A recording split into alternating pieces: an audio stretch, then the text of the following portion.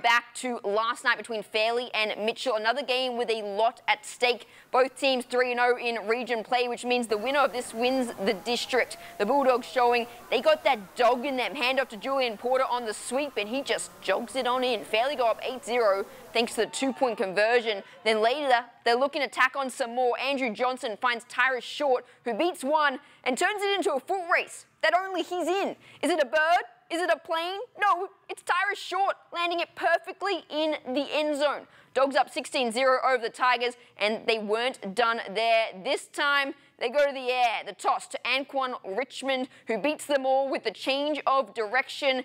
Fairley go on to win to a 34-0 win to claim their third straight to a district title.